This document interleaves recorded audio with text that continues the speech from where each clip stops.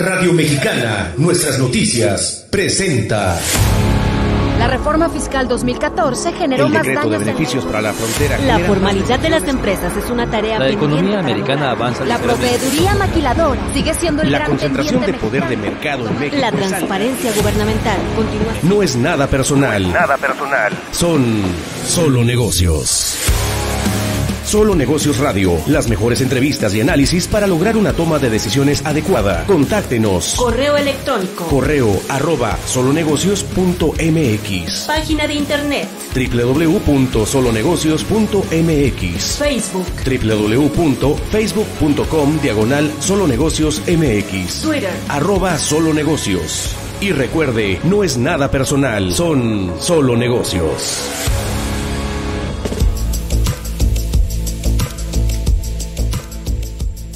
trescientos de amplitud modulada, al igual que por internet, en el fanpage de Facebook de nuestra estación, Radio Mexicana 1300 AM, nuestras noticias, también el fanpage en Facebook de Solo Negocios, en diagonal Solo Negocios MX. Y bueno, pues el día de ayer, martes 12 de julio, se celebró el Día del Abogado. Y en función de ello, vamos a dedicar el programa a platicar un poco de cuestiones jurídicas, que es el sistema jurídico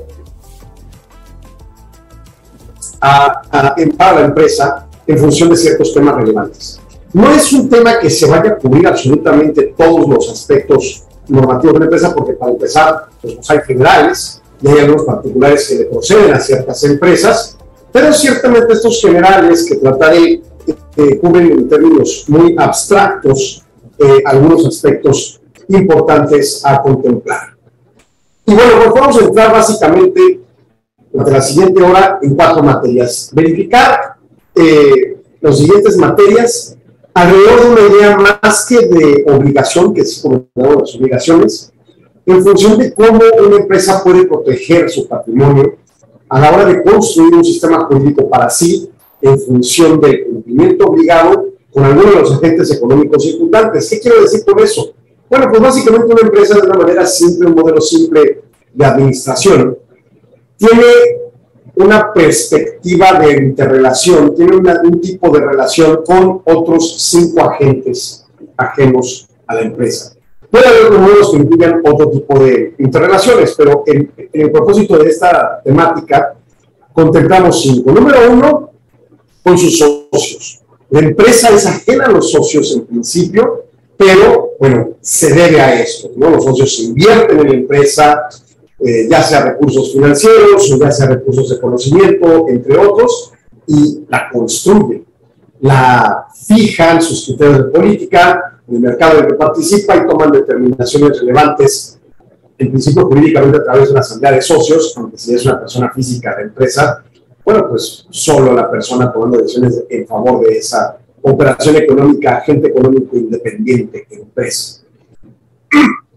Perdón, normalmente una empresa, no es una regla obligatoria, tiene empleados, tiene subordinados. Bueno, también tiene que eh, tener algún vínculo jurídico y una interrelación con esos subordinados. Obviamente, la empresa pretende tener clientes. Aún una maquila que es subsidiaria de una matriz, su cliente es esa matriz. Bueno, en las empresas en general, normalmente tiene interrelación con esos eh, potenciales clientes. Su caso, tiene proveedores de diversos tipos, servicios y algunos insumos que le permitan hacer su proceso económico y, en su caso, entregar su producto. Y finalmente, aun cuando se puede diferir a diferentes tipos de ah, otros ah, agentes con los que tiene interrelación, lo logramos en la sociedad. Ante la sociedad tiene una deuda también la empresa, tiene interrelación.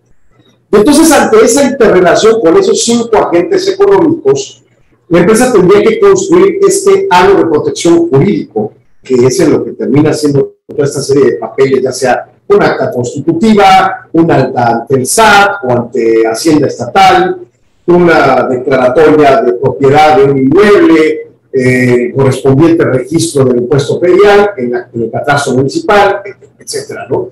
Son papeles, pero que reflejan ante el orden público y bajo el sistema jurídico cómo es el estadio de esa empresa, ese agente económico independiente, respecto a sus cinco eh, correspondientes agentes con los que se interrelaciona. Y bueno, las materias a tratar, en esta ocasión, en esta oportunidad, vamos a hablar del derecho privado, en función del derecho corporativo, el mercantil y el civil. Dos, vamos a hablar del derecho administrativo. Tres, vamos a hablar del derecho fiscal, que es un derivado del administrativo y del financiero. Y cuatro, vamos a hablar del derecho laboral. Eh, trataré de llevarnos uno por cada segmento para poder eh, acomodarlos de la mejor manera. Y bueno, primero que nada, en materia de derecho, ¿qué es una persona jurídica? Bueno, ya, ya dije que la perspectiva de un modelo que propongo administrativo, donde está la empresa como un elemento central y tiene relación con los cinco agentes económicos que cité, cuando lo traducimos al mundo jurídico, pues esto se convierte en una persona jurídica. Eh, comúnmente vamos a encontrar a, a, las personas jurídicas clasificadas en dos, las personas físicas, que son los seres humanos, y las personas morales, que serán este tipo de entidades creadas por el sistema jurídico, pero con un, una valía y con derechos y obligaciones reales, que normalmente dividimos las sociedades. Puede haber otro tipo de interpretaciones de la personalidad jurídica, pero en principio, de manera simple, es la forma en la que un individuo o un ente está sujeto a derechos y obligaciones y tiene un, un cierto grado de autonomía respecto a los constituyentes. En esos efectos especifico que para el propósito de una persona física es el mismo siendo la empresa que siendo su individualidad, su, su, ser humano, ¿no? Pero para los propósitos administrativos, realmente se debe desprender y comprender que la empresa es un ente externo a la persona física. Jurídicamente no, y tiene implicaciones de las que a la venta corporativa y mercantilmente. ¿Qué es mejor? Operar solo con un grupo de individuos, como socios. Bueno, la tendencia es que, depende, ¿verdad? Pero la tendencia es que hay varios criterios a tomar en cuenta de por qué es mejor una u otra decisión y va a variar con respecto al tiempo y madurez del proceso económico de esta empresa. En función de estos parámetros que ahorita citaré, se podría tomar la determinación. Se puede plantear que en principio puede ser la persona moral, pero tiene también sus deficiencias respecto a la física. Y, de cualquier forma, además, se debe conocer que no, dependiendo de ciertos mercados y bajo ciertas legislaciones aplicables, no hay mucho problema en estarse cambiando de moral a física. Tiene costos, pero de nuevo, a reserva de ciertas eh, circunstancias eh, de tipo legal en ciertos mercados, eh, pues obviamente se puede tomar la determinación de cambiar, ser moral un tiempo, ser física otro tiempo y demás, y regresar. Yo creo que una primera pregunta que se debe hacer un empresario es, ¿cuál es el objetivo principal del proyecto? Si, es básicamente obtener ganancias, o si hay actividades altruistas, etcétera, etcétera. ¿no? La teoría más básica en la empresa es el objetivo de obtener ganancias. Sin embargo, bueno, se van acrecentando conforme a diversas políticas e innovaciones de los procesos administrativos otro tipo de objetivos para las empresas. Se puede tener enfoque social, ambiental, etcétera, y, eso está muy bien. Pero una empresa que no genera ganancias, una de dos, o es un centro de costos de una es subsidiaria de una matriz que es la que genera ganancias y al final del día la actividad se persiste, o dos, es una empresa que está en quiebra y no tiene subsistencia futura. ¿no? En la planeación estratégica se deben definir estos planteamientos. Se debe definir qué construcción se va a tener en la empresa. Y la planeación estratégica es esta reunión incluso superior a una asamblea de socios, pero puede ocurrir una asamblea de socios, para tomar determinaciones que correspondan a la, a la decisión del momento o del periodo que sigue. O sea, al año, y en ese momento decidir, ¿sabes qué? Vamos a estar persona física, pero de ahora ya no vamos a cambiar a persona moral por estas conveniencias que vienen en el mercado, que vienen en la ley, etcétera, etcétera. Y a la par, a esa entidad, a esa empresa autónoma respecto al constituyente, se le fijan administrativamente los criterios de operación estratégica de una cultura, una misión, una visión y un horizonte, a partir de los cuales se construyen sus políticas normativas internas, independientemente de las normas externas. Independientemente entre comillas, porque si obviamente nosotros fijamos criterios de cultura, de visión o de misión, o incluso de horizonte, contrarias a la legislación aplicable, pues obviamente podríamos tener problemas. Bueno, ¿cuáles son los parámetros principales? Yo, yo encuentro siete parámetros principales para tomar la decisión de ser persona física moral. Número uno, la toma de decisiones de una empresa es más sencilla cuando eres persona física, porque solo tú tomas la decisión. si tienes que recaer en la voz de otros, puede encontrarse un escenario donde haya conflicto y no se logren las decisiones. Pero eso no es menester para simple y sencillamente dejar de lado la opción de tener otras personas con quien discutir la toma de decisiones. También puede haber virtud, porque cada quien tenga sus conocimientos o sus experiencias y aporten en el proceso de toma de decisiones. Un segundo parámetro de la seguridad jurídica patrimonial. Esto resultaba mucho en la época de mucha violencia aquí en Juárez, no digo que no haya, pero recordemos ese periodo de 2008 y 2012, en donde eh, una persona física que factura, por ejemplo, y aquí de las facturas todavía en papel, si ese papel se pierde, ahí va a decir el hombre, Alejandro Sandoval facturó 5 millones de pesos a la empresa fulana. Y hay gente a la que la cantidad de dinero puede parecerle eh, una cuestión extraordinaria y exuberante. Y quizá 5 millones de pesos los factores me ayudan a comprar una cosa que vale 4 millones 995 mil pesos y yo solo gané 5 mil. Pero en primera instancia, por seguridad no sería correcto que fuera mi nombre en la factura. Y hoy en día, incluso con la versión 4.0 de las facturas que vienen, pues sucede que tenemos que tener nuestro nombre en las facturas. Entonces, ese es un tema a considerar. Número dos, la seguridad pública en lo general. Pues también en la perspectiva eh, que acabo de citar, perdón, la seguridad pública patrimonial va a referirse más a la posibilidad del velo corporativo que implica tener una sociedad, que solo en ciertas sociedades aplica. Esto es, eh, si yo pongo un negocio y soy persona física ese negocio, si recibo demandas, no solo es contra el valor de la empresa, sino también incluso por el valor de mi casa, de mi vehículo o de mi patrimonio en general.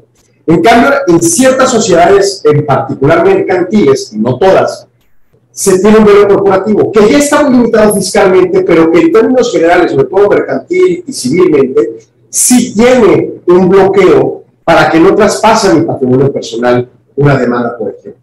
No en todos los casos hay vicisitudes a contemplar, pero ayuda.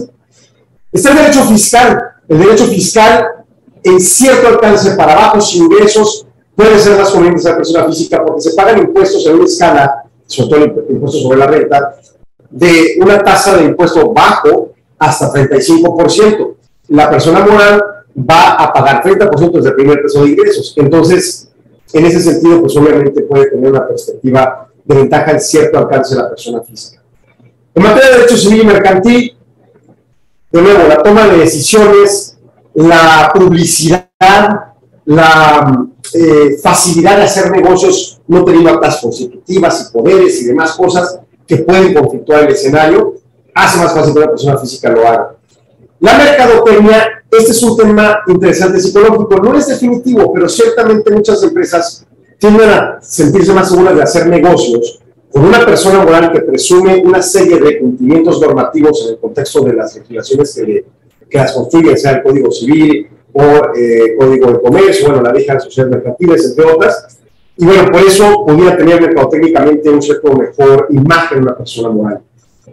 Y los costos administrativos. Es más caro administrar a una persona moral. Incluso a veces es más caro llevar su contabilidad que llevarla a una persona física. Entonces, de ahí ciertos parámetros. Tengo que hacer corte y regreso para cerrar el punto del derecho privado. No se vaya, siga aquí en Solo Regresamos, no se vaya. Continúe en Radio Mexicana 1300 AM con Solo Negocios Radio.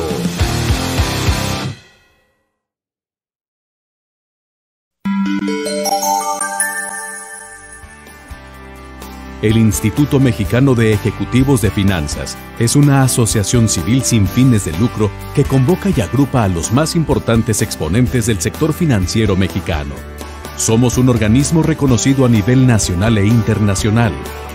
Actualmente contamos con más de 1.600 socios, entre los que se encuentran presidentes, directores generales, directores financieros, directores ejecutivos, profesionales independientes y directores académicos.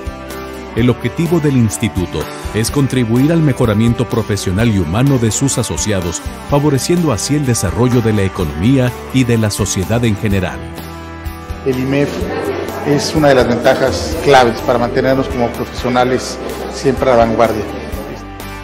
Los comités técnicos son un elemento fundamental en el desarrollo profesional de todos nosotros como ejecutivos de finanzas a través de más de 200 eventos anuales a nivel nacional. Nuestros socios tienen espacios idóneos para actualizarse e intercambiar conocimientos y experiencias con destacados ponentes nacionales y extranjeros. Pertenecer al IMEF me ha permitido conocer temas y mantenerme actualizado sobre todo lo que necesito para mi actividad diaria, además de hacer grandes amigos, ampliar mi red de contactos y por supuesto también hacer más negocios. Que es un lugar, IMEF es un, es un lugar donde eh, se pueden desarrollar profesional y personalmente. Las actividades de la Fundación de Investigación IMEF impulsan la generación de conocimiento y la innovación financiera. Le invitaría a los ejecutivos financieros que entraran en el IMEF porque es un instituto que les va a dar mucho valor profesional. Los conocimientos y la gente con la que vamos a relacionarnos, los vamos a estar actualizados en la información, en lo que se tenga en cuanto a cuestiones de finanzas y otras cosas más. Ser socio IMEF te permite acceder a diversas publicaciones como la revista IMEF, la revista mexicana de Economía y Finanzas e Investigaciones de especialistas en temas económicos, financieros y de negocios. Te invito a ti, ejecutivo de finanzas, que estás pensando en formar parte de nuestro instituto, a que te unas a nuestro círculo. Asociarse al IMEF es sinónimo de capacitarse más y más y más en este mundo cambiante de las finanzas públicas. Asimismo, nuestros socios reciben mensualmente información clave para la toma de decisiones a través de los resultados del indicador IMED y del reporte de perspectivas económicas. Es una institución de gran nivel en donde realmente puedes conocer o tienes relaciones con gente que pertenece a todos los ramos de la economía y las finanzas. Creo que el beneficio de pertenecer a una organización como el INEF, no importando la edad o la profesión que tengamos, es inmensa por todo lo que podemos compartir y aprender dentro del instituto.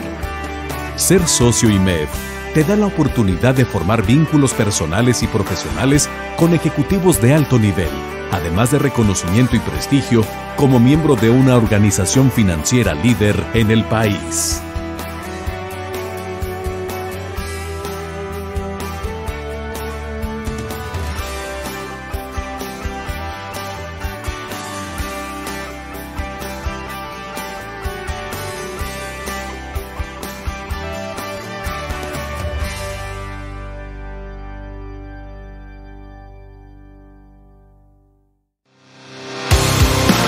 Continuamos en Solo Negocios Radio.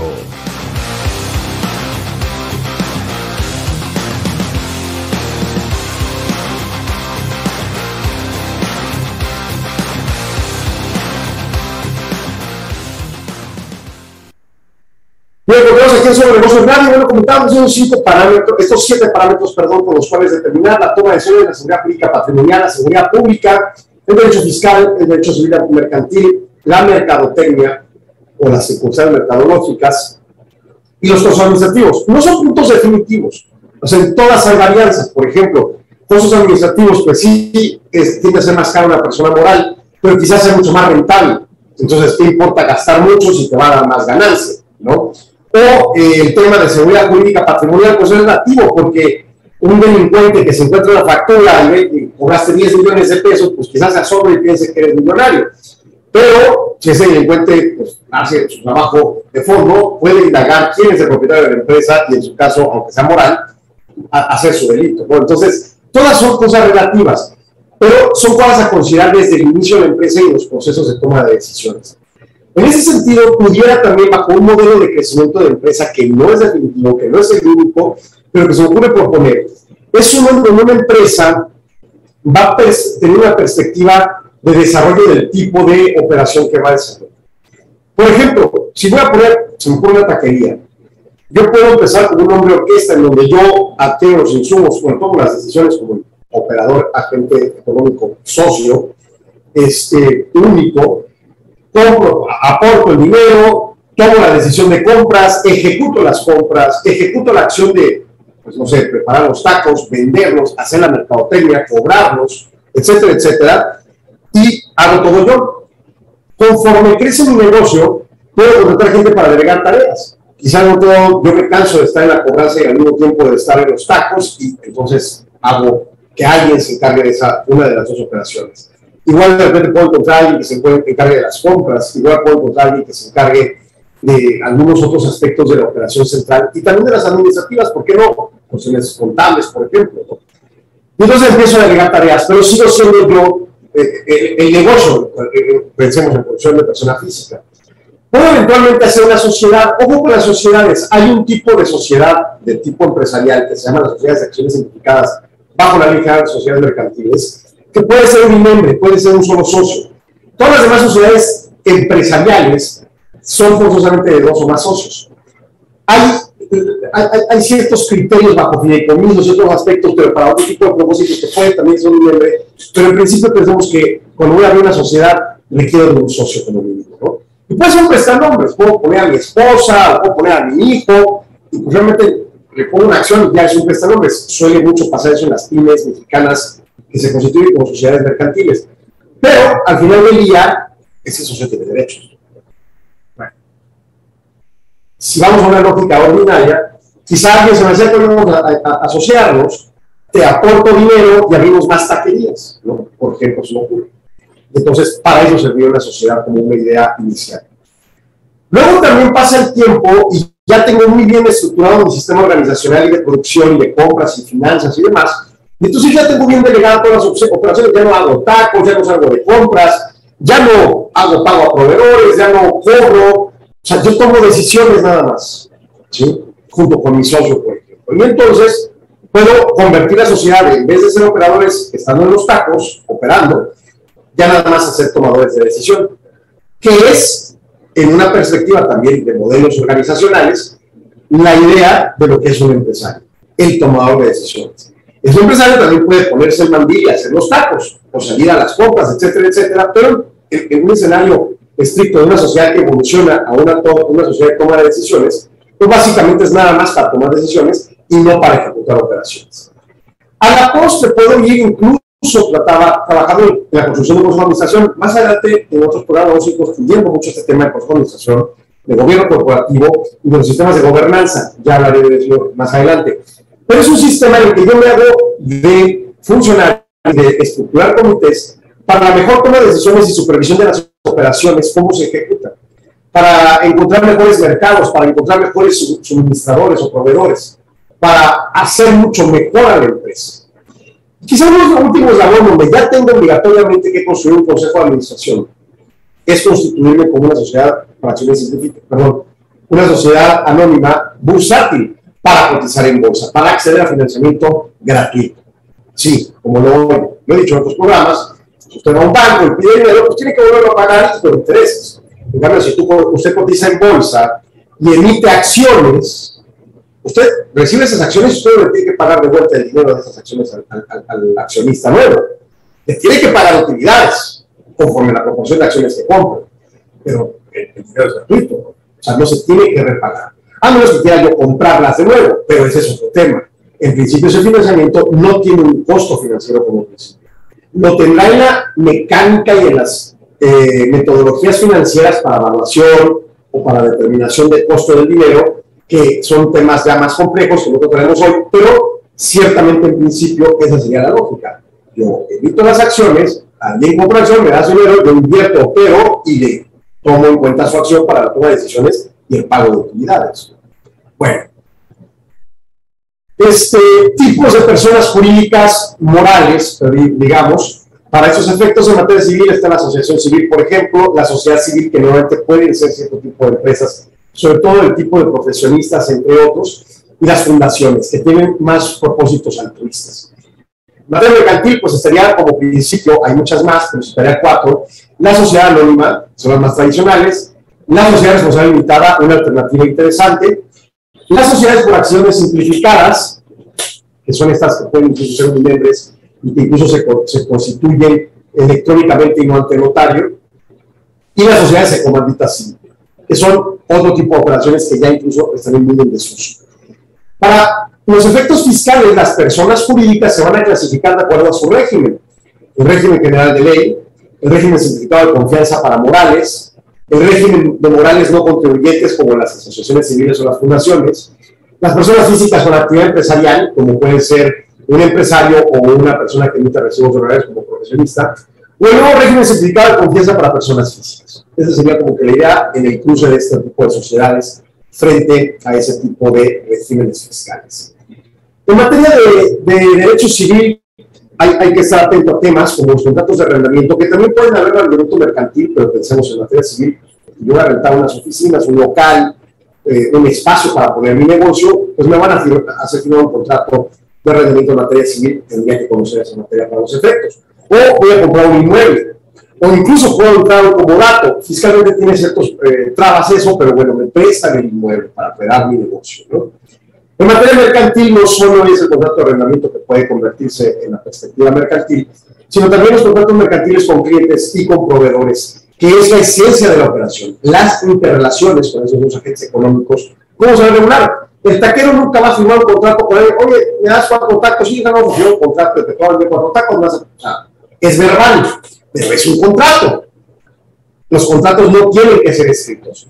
Es una expresión de la voluntad lo que afianza la existencia de un contrato. Si yo pido cuatro tacos, estoy haciendo una solicitud y me dicen sí, pero hay cuatro tacos, estoy firmando un contrato y estoy ejecutando un contrato y a la hora de pagar los tacos estoy finiquitando un contrato. ¿no? Y con los proveedores, pues también de igual forma, yo puedo ir al supermercado o a la central de abastos a comprar los suministros y quizá quede verbalmente mi compra-venta, pero se formula un contrato alrededor de esa interrelación. Y bueno, ¿cuál es la mejor opción? De nueva cuenta, se tiene que tomar a partir de la idea del momento de la empresa. Es una idea nueva, va apenas a nacer, es una idea existente, cuánto tiempo tiene, en qué mercado participa. Hay que contemplar muchos tópicos que a mi gusto, de nueva cuenta, desde una perspectiva de planeación estratégica, es en la sesión de planeación estratégica donde se toman esas decisiones. En la asamblea de socios es donde se asientan las decisiones. Es primordial esa planeación estratégica, por ende, y fijar un análisis de las aportaciones que cada quien va a dar. Vas a dar, a dar dinero, vas a dar en especie, vas a dar en, trabajo, en ideas, etc. ¿no? Hacer proyecciones financieras comparables, ¿verdad? ¿Cuánto me van a costar los impuestos en un escenario A así, en un escenario B así, en un escenario de persona moral, en un escenario de tal tipo de sociedad, etcétera, etcétera? Obviamente lo ideal sería construir un plan de negocios, que es un documento robusto. Hay quien trae otras ideas, hay metodologías de plan de negocios muy simples, más de ejecución que de documentación. A mi punto de vista es importante la documentación porque se tiene que ir manteniendo vivo ese documento, modificándose en el tiempo y alterando precisamente la construcción del mismo en esas modificaciones que permitan que la toma de decisiones esté, uno, documentado y dos, traceable, o sea, este, analizable en, en, el argumento histórico. Finalmente, varias de las submaterias que pueden contemplarse en el contexto del derecho privado incluyen dos cruciales, que son derecho privado hasta cierto punto, porque en realidad son derecho público, derecho administrativo conforme cómo se operan, pero que tiene propósito de una defensa del derecho privado. Son la propiedad intelectual. Número uno, la propiedad industrial, que incluye patentes, diseños industriales, modelos de utilidad, esquemas de circuitos integrados, marcas, anuncios comerciales, nombres comerciales, entre otros. Ya se puede realizar olores, ya se puede realizar sonidos, ¿no? Entonces, vale la pena hacer los registros porque hay un gasto de por medio, algunos más altos como las patentes, otros más bajos como las marcas, pero al final del día vale la pena hacer un análisis consensuado a partir de la planeación estratégica de las mecánicas de defensa. Es importante mi marca o mi nombre comercial en mi colonia, etcétera, etcétera. Dos, los derechos de autor, los derechos de obra. Obras literarias, obras musicales, arquitectónicas, programas de cómputo, que es básicamente la construcción del programa, o sea, la programación unificada, bases de datos que yo tenga construida la fotografía, entre otros. Hay que analizar la viabilidad y lo óptimo de hacer los registros correspondientes se hace de una perspectiva pública, en una base de datos pública, quien hace la concesión de esa propiedad intelectual, ya sea el Instituto Mexicano de la Propiedad Intelectual, o el INDAUTOR, que es el Instituto Nacional de Derechos de Autor, y en su caso, hasta incluso a nivel internacional, hacerlo en Estados Unidos o hacerlo en Francia, en París, ante la institución, el organismo internacional de, de marcas, ¿no? Pero ese es un acto público. Cuando yo ya tengo marca, tengo una protección privada sobre el uso de esa marca, sobre el uso de esa base de datos, sobre esa patente, etcétera, ¿no? Que hay los razonamientos de por qué se considera eventualmente de derecho privado. Bueno, voy a corte rápidamente y regreso para hablar del siguiente tema. Regresamos, no se vaya. Continúe en Radio Mexicana 1300 AM con Solo Negocios Radio.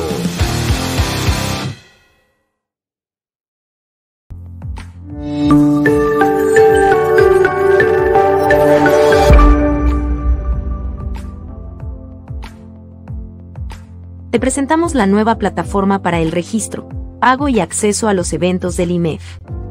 Aquí podrás registrarte a los foros nacionales, conferencias, cursos en línea, sesiones de comités técnicos y toda la oferta de eventos que el IMEF pone a disposición de la comunidad de negocios.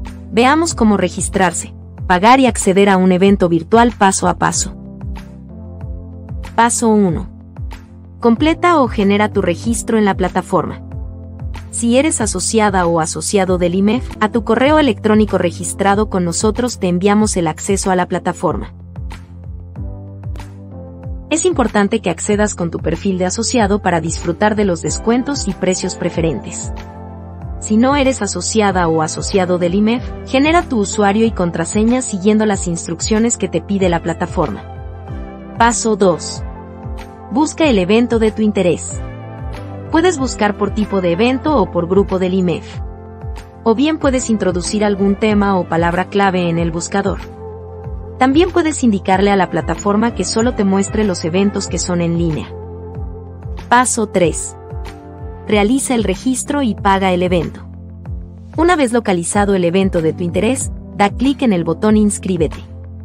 A continuación selecciona tus asientos y da clic en Continuar con el proceso de compra. Si compras dos o más deberás introducir los datos de las personas que asistirán. Después revisa que la cantidad total a pagar esté correcta, o que sea igual a cero si es una cortesía. Completa tu inscripción introduciendo los datos que te pide el formulario. Después, para realizar el pago, introduce los datos de la tarjeta de crédito o débito y luego da clic en el botón Completar inscripción. A continuación, verás en pantalla los detalles de tu registro y, en caso de los eventos virtuales, las instrucciones para acceder a la sesión. También recibirás vía correo electrónico la confirmación de tu registro y las instrucciones de acceso al evento, en caso de que éste sea virtual. Si tienes algún problema, contáctanos al correo gvillagran.imef.org.mx o al teléfono 55 91 51 50 86.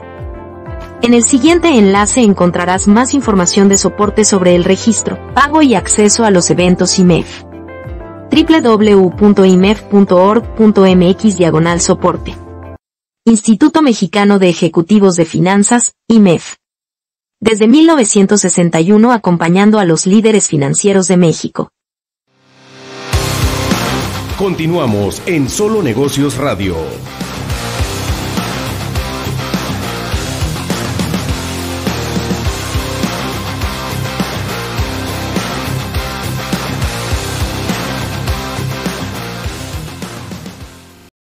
Entonces, solo negocio radio y nos vamos a dirigir al derecho administrativo. Me faltan tres, dos segmentos, vamos a acelerar el paso.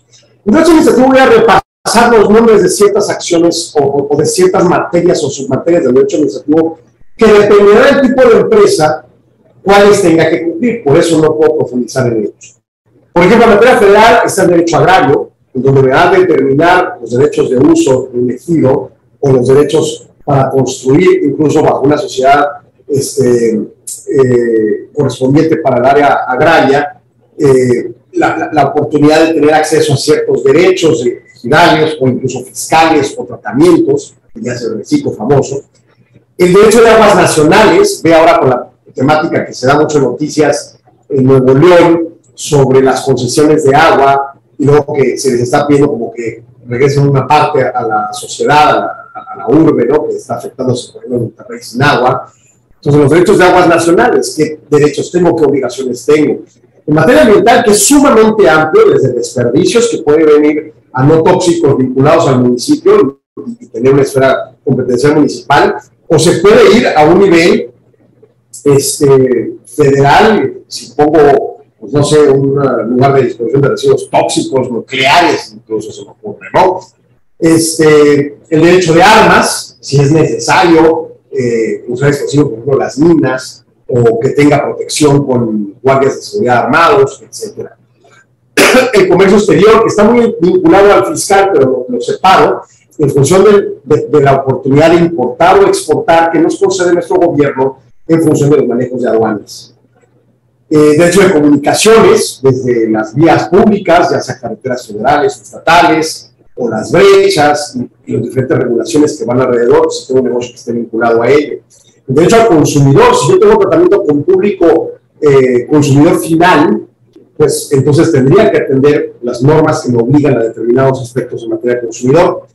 El derecho energético, quizá una cosa que se me alejar los ojos, pero comprenderla puede dar pauta para tomar decisiones en función de, por ejemplo, pensar en la generación distribuida, ¿no? Colocar eh, módulos solares o paneles solares en nuestros tejados, o en tejados terceros que nos produzcan electricidad bajo los esquemas legales vigentes, aunque ahorita está el puerto de toda esta problemática constitucional, legal y demás que, que, que está trabado, pero hay cosas que sí se pueden aplicar y hacer más eficiente el sistema energético de una empresa. el derecho de minería, con todas las vicisitudes implicadas, eh, materia de publicidad y legislaciones de la publicidad, entonces para tener cuidado con la contratación de una agencia de publicidad, se cumple el marco normativo correspondiente, sobre todo porque tiene sanciones fiscales importantes. El derecho de la salud, también estoy vinculado en mercado o tengo vínculos a través de, la legislación de seguridad, de social en la materia laboral.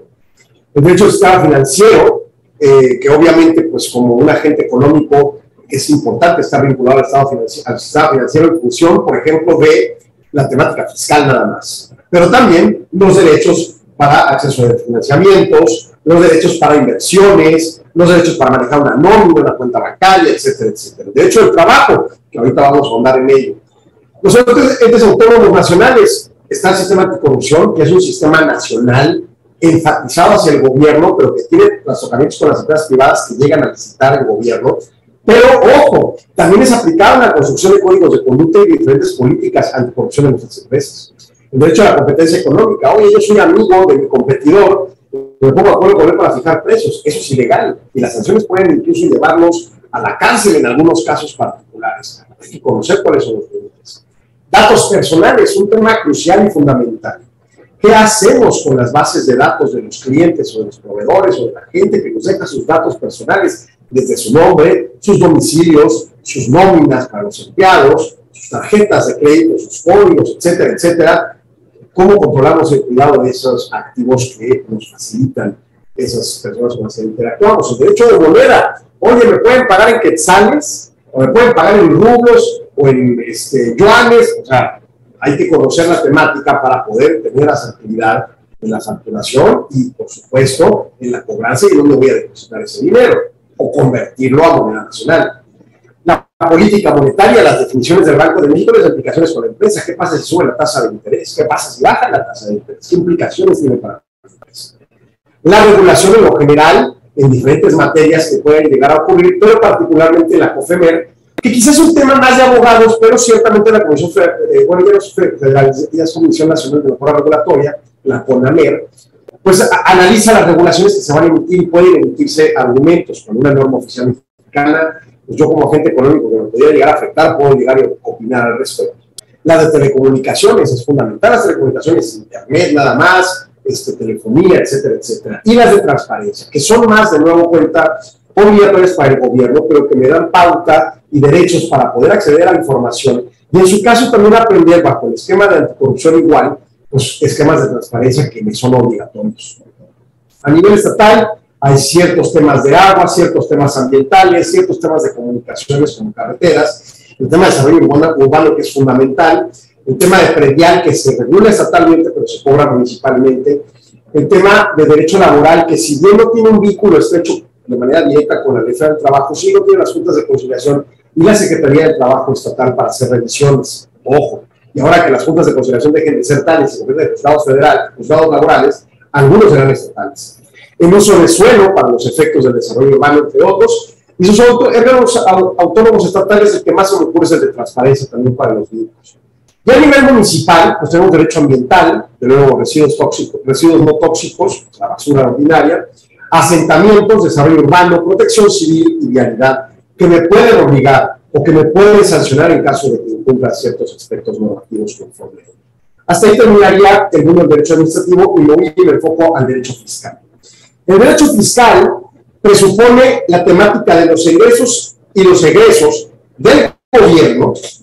Y comúnmente usted escucha hablar de un abogado fiscalista, por ejemplo, está hablando de un abogado que se encarga de la temática de los impuestos, pero es mucho más amplio el derecho fiscal, incluye el presupuesto de ingresos gubernamentales y se cumple, incluye, por ejemplo, el tema de los impuestos, las aportaciones, los derechos que se cobran, usted saca mi pasaporte, me cobra una tarifa, esos son derechos, y cómo son y cómo funcionan y cómo pueden concebirse constitucionales o inconstitucionales en momento dado. En, en, materia de impuestos específicamente existen los siguientes, federales. Impuestos sobre la renta, impuestos sobre valor agregado, impuestos especial sobre producción y servicios, impuestos sobre automóviles nuevos, impuesto al comercio exterior, impuesto a la actividad de exploración y extracción de hidrocarburos, impuestos a servicios expresamente declarados de interés público por ley en los que intervengan empresas concesionarias de bienes de dominio público de la nación, otro tipo de impuestos que en realidad hoy en día no existen, y deuda pública, que no es un impuesto directo, porque pues, es pedir el prestado a una entidad extranjera, pero pues, lo van a cobrar con impuestos a deuda.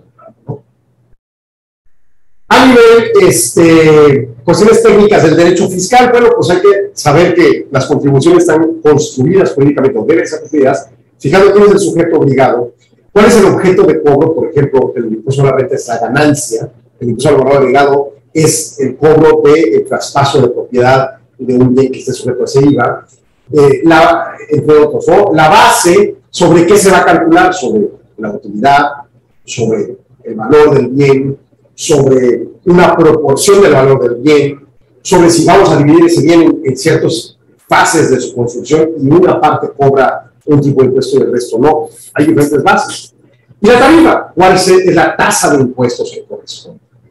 Y algunas generalidades del, del, del derecho fiscal incluyen pues tiene que analizarse quiénes son los contribuyentes. Los domicilios fiscales a nivel federal es fundamental, también a nivel estatal.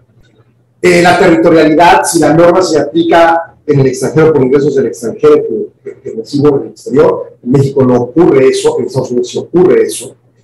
La doble tributación, si el país con el que tengo interacción eh, tiene un acuerdo con México para no doble tributación o no lo tiene, entonces sí va a haber una doble tributación, pago impuestos allá y aquí, en, el caso que sea correspondiente estudios fiscales existentes, exenciones, condonaciones, que supone que se han eliminado constitucionalmente, pero no es cierto, y entonces ahí hay formas de acceso a ellas.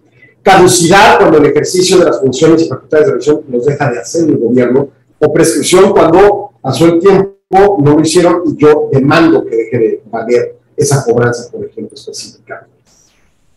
Y esto todo se basa en la Constitución, el artículo 31, fracción cuarta de la Constitución, dice que es una obligación de los mexicanos contribuir para los gastos públicos, así sea la Federación, Estados, Ciudad de México y los municipios en que residan, de manera proporcional, clave central, de manera equitativa y que se dispongan en las leyes. Y bueno, este, a esto se le añade, y a los regímenes fiscales que ya comenté hace ratito, la Ley Federal de Prevención e Identificación de Operaciones con Recursos de Procedencia Ilícita, que es todo otro tema, la ley antilavado, pero que debemos de tener atentos para A los niveles estatales existen impuestos de nóminas, impuestos celulares como el de arrendamientos, derechos que llegan a cobrarlos cuando vamos en la carretera y pagamos una cuota estatal, productos o aprovechamientos, entre otros. A nivel municipal existe el predial, la traslación de dominio cuando vende un inmueble, algunos derechos, productos y aprovechamientos en general. Y bueno, eh, en esa lógica, pues hay diferentes vicisitudes a contemplar entre el objeto, la base, objeto de cumplimiento, que es el contribuyente, la empresa, y en su caso la tarifa. Y en base a ello, con la proyección financiera de la relación estratégica, podríamos analizar la posibilidad de ser mejor de un tipo o de otro a la conveniencia, o si el tipo de mercado en el que nos involucramos nos obliga a, algún esquema particular. Por ejemplo, si yo una maquiladora, forzosamente tenemos una sociedad mercantil no puedo operar maquila como persona física, ¿no? O sea, hay un impedimento, si voy a poner maquila, con permiso IMEX expresamente, me voy a poner, ¿no? Este, si yo voy a operar como una persona que da, se me ocurre, servicios eh, que le gustan, notariales, notario, un notario tiene que ser persona física. Su notaría puede ser una sociedad civil que cobra los servicios del notario, pero el notario quien recibe la patente notarial es una persona física. ¿no? Entonces ahí hay ese tipo de vicisitudes para la toma de decisiones relevantes. Y bueno, voy a ir corte y voy a regresar al último segmento que vamos a hablar del derecho laboral y pues con eso concluimos el día de hoy. No se vaya, siga aquí en Solo Negocios. Regresamos, no se vaya. Continúe en Radio Mexicana 1300 AM con Solo Negocios Radio.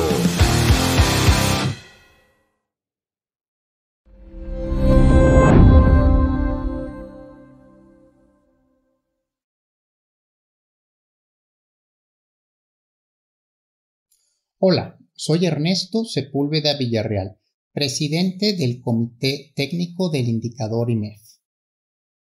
Hemos notado que a pesar de haber comenzado a publicar el indicador IMEF hace más de 15 años, muchas personas no lo conocen, incluyendo miembros del propio instituto.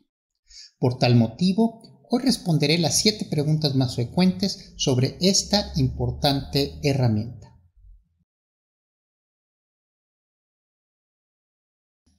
Es un indicador cualitativo diseñado para medir cambios en el sentido de la actividad económica mexicana en el corto plazo. Tiene dos índices, uno para el sector manufacturero y el otro para el sector no manufacturero. Lo construimos con base en una encuesta mensual que recaba la opinión empresarial sobre cinco variables. Nuevos pedidos, producción, empleo, oportunidad en la entrega de productos o servicios e inventarios. El indicador IMEF está basado en la metodología que usa el Instituto para la Gestión de Suministros en Estados Unidos para calcular su índice de gerentes de compras. El indicador IMEF es el único indicador de opinión empresarial en México producido por el sector privado que cuenta con la asistencia técnica del INEGI. ¿Cómo se interpreta el indicador IMEF? En esta gráfica puede verse que el indicador IMEF varía entre 0 y 100 puntos, donde 50 puntos es el umbral que distingue entre la zona de expansión y de contracción. De esta manera, una cifra mayor a los 50 puntos sugiere una expansión de la actividad económica y una cifra menor a los 50 puntos anticipa una contracción. El indicador IMEF puede orientarnos sobre el sentido de la actividad económica, pero no sobre la magnitud precisa de los cambios.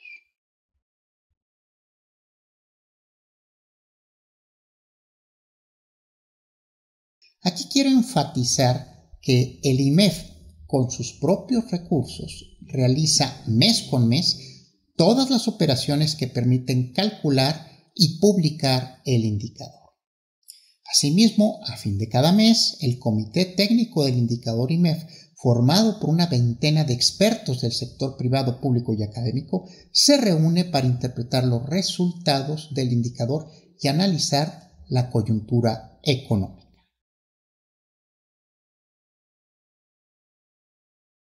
El indicador permite anticipar con oportunidad puntos de giro de la actividad económica, como sucedió con el inicio y el término de la recesión del año 2009.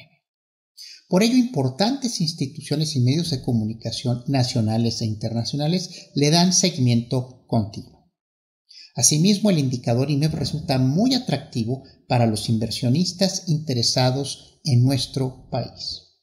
Naturalmente, el indicador IMEF complementa otros indicadores de la actividad económica que se publican en este país.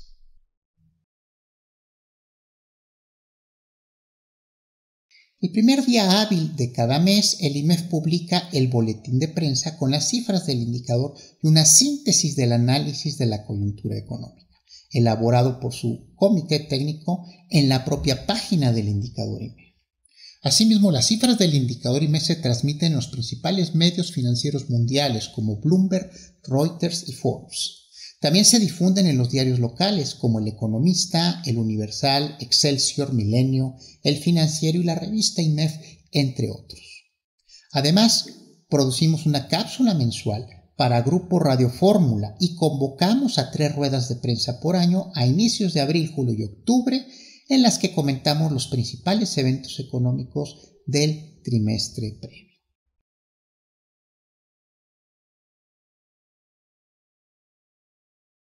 Aquí quiero señalar que todas las empresas ubicadas en territorio nacional pueden responder la encuesta del indicador IMEF sin importar su actividad, giro o tamaño. Sin embargo, solo una persona por empresa debe contestar la encuesta. Además, quien lo haga debe conocer bien la operación de la empresa. Idealmente debe ser él o la directora general o alguien cercano a ellos. Para participar, el primer paso es completar el registro en la página del indicador que aparece ahora en su pantalla. Normalmente damos respuesta a las solicitudes en un día hábil. Una vez aprobado el registro, cada mes recibirá un correo electrónico con un enlace para contestar la encuesta. Esto no le tomará más de dos minutos. Su participación es fundamental. Con gusto resolveremos sus dudas puede escribirnos a indicadorimef.imef.org.mx. Muchas gracias por escucharme y esperamos contar con su valiosa participación muy pronto. Hasta luego.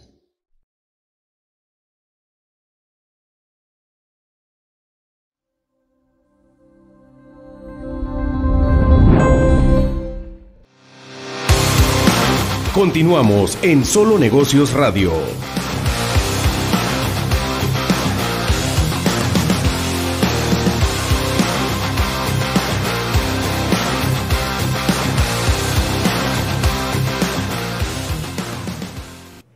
Y llegamos al último segmento de Solo Negocios y vamos a platicar del derecho laboral. Nociones básicas de nueva. El derecho laboral nace a partir del artículo 123 constitucional. Tenemos apartados. El A es el que compete a las empresas, el B es del gobierno. ¿no? O sea, apartado A, relaciones laborales privadas. Apartado B, relaciones laborales con el Estado. Entonces nos ocupa, nos preocupa el apartado A. Ley Federal del Trabajo, primer norma fundamental, norma secundaria de la ley del 123 constitucional, que regula lo que dice 123 constitucional. Y entonces ordena las relaciones laborales. Fija el mínimo legal. Todo aquel argumento que dice, si yo me firmé contrato de trabajo, esa persona no es mi empleado, usted está fuera de lugar. La ley del trabajo es el contrato mínimo de la relación laboral que hay entre un agente privado independiente, una empresa, con un subordinado, un trabajador. La ley del trabajo está gigante. Tiene la parte sustantiva, que son los derechos y obligaciones, la parte adjetiva, que es cómo ejecutarlos, y regulaciones muy concretas, incluso que van luego desapareciendo, que se construyen en normas oficiales, pero en principio están en la ley del trabajo, que regulan particularidades muy, muy, muy concretas de ciertos aspectos de las relaciones laborales, como pueden ir desde temas de salud, o tipos de trabajo, no sé, el trabajo marítimo, cosas de ese tipo. Luego tienes otra legislación, eh, bueno, perdón, cabe mencionar que la ley del trabajo no tiene un reglamento de la ley federal del trabajo, como por ejemplo el Código Fiscal de la Federación tiene un reglamento del Código Fiscal de la Federación, la ley del trabajo no lo tiene, lo que tiene es en la misma ley las reglas claras, bueno, relativamente en algunos casos, y dos, emana de ahí ciertas normas o ciertos reglamentos específicos, como pueden ser los de las comisiones mixtas, o en su caso normas oficiales mexicanas. Luego viene la ley de seguro social, que sí tiene varios reglamentos, y en su caso fija los derechos de seguridad social que emanan tanto por constitución como de la ley federal del trabajo como obligación del patrón de brindar ese derecho de la seguridad social a los trabajadores. Entonces, un trabajador informal que no tiene del IMSS, que no tiene contrato firmado, no tiene derechos. No, al contrario, la ley del trabajo le marca la pauta de su contrato informal, el contrato escrito, está en la ley, y dos, le obliga a la ley de seguridad social y el incumplimiento de no tenerlo dado en alta, pues ya le, aplica sanciones a ese patrón. Finca todos esos derechos de seguridad social e impone obligaciones a los patrones fundamentalmente. También pone otro tipo de reglas, los derechos de pensiones, cuando fallece un empleado, cuando se enferma, cuando se accidenta, etcétera, hay varias regulaciones al respecto. La ley de Infonavit, la propia ley del trabajo impone la obligación de, brindar el soporte para la vivienda del trabajador, y entonces se crea el Instituto del Fondo Nacional de la Vivienda de los Trabajadores y se crea la ley Y entonces, básicamente, su, su estructura está para brindar la vivienda de los trabajadores, regular la relación de ese pago de financiamiento, y en su caso, regular las obligaciones patronales al respecto. El patrón se hace como una especie de obligado solidario en cierto alcance. No lo es civilmente, pero en cierto alcance, sí, y en ciertas omisiones por culpa de eh, incluso del trabajador, pero que el patrón no atienda, pues puede poner en riesgo patrimonio de la. La ley del sistema de ahorro para retiro, uno de los terceros puntos o, otro de los puntos relevantes que, emanan de la ley del trabajo de la Constitución es ese sistema de retiro. Cómo ayudar y llevar a los trabajadores a generar un ahorro para su retiro futuro.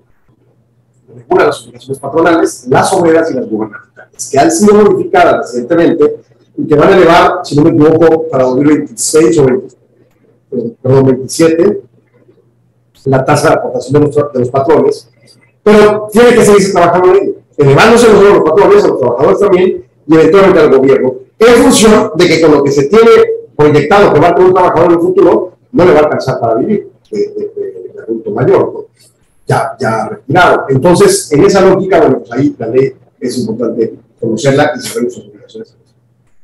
Y como digo, hay regulaciones específicas como las de comisiones, los reglamentos de la comisión fulana de tal, salarios mínimos, etcétera, etcétera, PTU, las actividades, etcétera, y normas oficiales mexicanas que regulan ciertas actividades, como puede ser, por ejemplo, trabajos de altura, cuando trabajas arriba, no me acuerdo los metros, creo que son unos 50, si te subes tú a una escalera para hacer tu trabajo, pues te tiene que aplicar esta regulación, te tiene que dar ciertos instrumentos de seguridad, eh, toma de nota, bitácoras, etcétera, etcétera. Por eso es importante, ahora cuando estamos empleados en el tipo de trabajo, hacer ciertas preguntas incluso del, aspecto físico, no con un objetivo discriminador, discriminador por el hecho de tener eh, ciertas cualidades la persona, sino para evitar poner a trabajar a alguien en situaciones que sean violatorias de las normas o que no pueden llegar a cumplir estas normas con el trabajo que van a desarrollar. Hay, hay, hay de, de alturas, hay de sonido, hay de toxicidad en el lugar de trabajo, no de las cosas que dice la sociedad, sino este, insumos tóxicos o algunos elementos radioactivos, cosas de ese tipo. Eh, hay normas de seguridad y salud, hay normas de riesgos psicosociales, la famosa norma 35, Manuel García y José Enrique haya platicado bastante de esta norma 35, hay que aplicarla. Se ha sesgado un poco la imagen de aplicación porque se atravesó la pandemia y ha tenido otro tipo de trabajo las autoridades para revisar, pero la norma 35 se tiene que aplicar. Y, tenemos que evaluar qué está pasando con nuestros trabajadores, no solo en su aspecto fisiológico, sino también psicológico, para tomar en cuenta si nuestras políticas laborales están provocando ese problema psicológico o si son cosas ajenas, y en su caso, en ese caso de ajenas, o incluso las propias, se toman las reacciones con los políticos. son las propias, con las políticas que yo tengo que cambiar en mi empresa, y cuando son ajenas, pues yo pago NIMS, entonces que vaya y atienda un psicólogo de IMSS a ese trabajador y le ayude a que el trabajador resuelva sus problemas eh, por medio de los tratamientos que correspondan, ¿no? El teletrabajo que se está normando en este momento, ¿no? Este, ¿Cómo van a ser las relaciones laborales? Ahí está el marco jurídico principal en la ley del trabajo, pero ciertas acciones específicas, ciertos mecanismos de parametrización. Por ejemplo, si yo estoy en mi oficina y estoy en un escenario de teletrabajo, ¿cuánto gastan estos ojos que tengo aquí arriba? ¿Cuánto gasta la computadora en la que trabajo? Eh, electricidad, por ejemplo. ¿Cuánto agua proporcionalmente gasto a la hora de estar trabajando comparado a las cuestiones personales de mi hogar? ¿Cuánto eh, se me un teléfono, se me un mueble ergonómico? Todo ese tipo de cuestiones específicas que se podrían regular. Y entonces, en, el tema de la ley laboral, pues tenemos otros elementos centrales a tomar en cuenta. ¿Quién es el patrón? También a veces se quiere jugar con este tema y entonces te firma el contrato uno y te da órdenes otro y trabajas en el sitio de un tercero, ya todas las La identidad del patrón, si no es clara, se va contra todos. Y son solidariamente responsables. Así que yo creo que hagas con este tema. Número dos, este, la identidad del trabajador sí tiene que quedar claramente eh, identificada. Y para esos propósitos, veces puede ser regulación, pero cuando se hacen los contratos laborales, yo recomiendo solicitar varios documentos a los trabajadores que permitan claramente identificarlo, evitando engaños, robos de identidad, entre otros, que pudieran traer problemas, porque hoy en día con las circunstancias migratorias que existen, si le roba, si, le roba a alguien la identidad, a un mexicano, un migrante, y viene y trabaja conmigo, y de repente migración y se da cuenta, la sanción también puede ir en contra. Hay que tener atención a la ley migratoria o mínimo a, a blindar la operación para los efectos. El contrato, el contrato laboral, para lo único que sirve es para defender los derechos del patrón, porque define los verdaderos límites acordados por el trabajador en la relación laboral, los cuales no, no pueden ser violatorios de la ley del trabajo, que es el contrato mínimo, pero sí pueden definir límites que ante una posible demanda incluso fraude del trabajador mintiendo en, en juicio, si no está por escrito, no hay cómo comprobar lo contrario. Entonces hay que tener mucho cuidado en el sistema laboral. El sistema laboral, al contrario de muchos otros sistemas, el que demanda, el que, es demandado tiene que probar. O sea, en materia civil, si a mí me demandan, el que tiene que probar es el actor de la demanda, quien me demandó, ¿sí? no yo demandado. En materia laboral, el que demanda no tiene que probar. O sea, va a irse a mí me pagan tanto y trabajar tales días a la semana y, y, y, se van a patar. Y el que tiene que probar que no es cierto soy yo. Pues el mínimo vital es un contrato laboral escrito, se definen las reglas sociales del contrato. El reglamento de trabajo registrado ante la Junta que corresponda. Eh, definir la jornada, los límites y que sea armónica con las listas de asistencia, incluyendo los horarios de comida. El salario se tiene que devengar, pues, tanto trabajo, tanto salario, y obviamente no puede ser menor al salario mínimo. Las utilidades que se tienen que pagar, las vacaciones que se tienen que brindar, el aguinaldo que se tiene que brindar, la capacitación y adiestramiento que se tiene que brindar, eh, la seguridad higiene que se tiene que brindar, eh, si hay regulaciones que debería de haber según los protocolos COVID, los protocolos firmados, etcétera, etcétera. Tiene que contemplar los temas eh, de derecho sindical, no necesariamente de contrato, pero se tienen que respetar los derechos sindicales si el trabajador quiere sindicalizarse,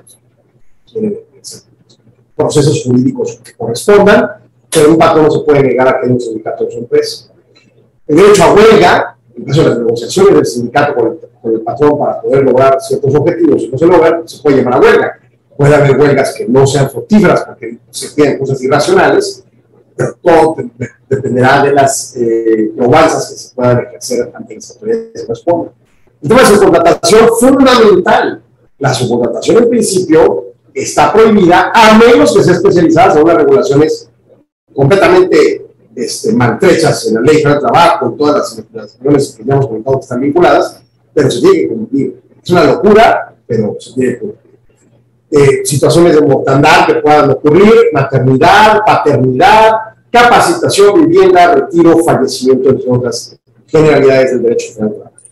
Y ya para terminar, pues las recomendaciones que puedo en materia laboral es contratar a sus trabajadores documentalmente, o con contratos, tener los datos completos de los trabajadores, incluso con los documentos de soporte en un expediente, reglamento interior de trabajo, registrado entre las autoridades, listas de asistencia incluyendo los temas de horas de, este, comida y las horas extras bien marcadas, actas administrativas que den seguimiento a la conducta del trabajador para toma de decisiones de sus mejoras salariales, sus retiros o lo que sea.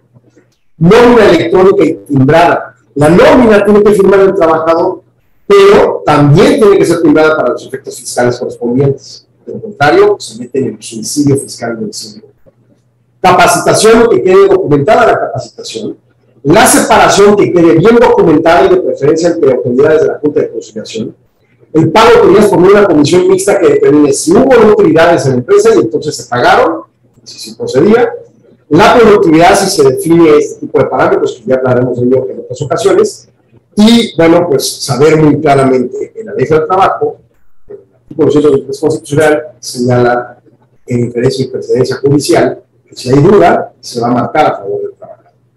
Así que cuide su empresa, cuide su patrimonio. Muchas gracias por su atención, muchas gracias a todos por tu apoyo. Nos escuchamos mañana en punto a las 4 de la tarde con el espacio de YouTube, aquí en Negocio Radio.